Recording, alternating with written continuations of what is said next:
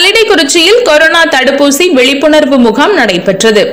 நெல்லை மாவட்டம் கல்லிடைக்குறிச்சி சிறப்பு நிலை பேரூராட்சி மற்றும் அரசு ஆரம்ப சுகாதார நிலையம் இணைந்து கல்லிடை ரஹ்மத் ஜிம்மா பள்ளிவாசல் வளாகத்தில் வைத்து மாவட்ட ஆட்சியர் விஷ்ணு உத்தரவின்படி கல்லிடை சிறப்பு நிலை பேரூராட்சி நிர்வாக அதிகாரி சுலைமான் செட் முன்னிலையில் கல்லிடை சுகாதார ஆய்வாளர் ரத்னவேல் கல்லிடைக்குறிச்சி சிறப்பு நிலை பேரூராட்சி சுகாதார ஆய்வாளர் கந்தசாமி மேற்பார்வையாளர் முருகன் மருத்துவர் கமலப்பிரியா மற்றும் அரசு ஆரம்ப சுகாதார நிலைய செவிலியர்கள் கலந்து கொண்டு கொரோனா தடுப்பூசி விழிப்புணர்வு முகாம் நடத்தினர்.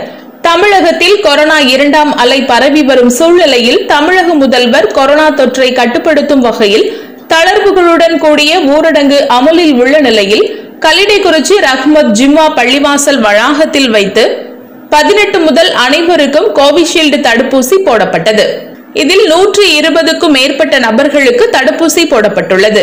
இதில் கல்லிடைக்குறிச்சி சிறப்பு நிலை பேரூராட்சி சுகாதார பணியாளர்கள் இம்முகாமில் சமூக இடைவெளியுடன் இருக்கைகள் அமைத்து சிறப்பாக ஏற்பாடுகள் செய்திருந்தனர்.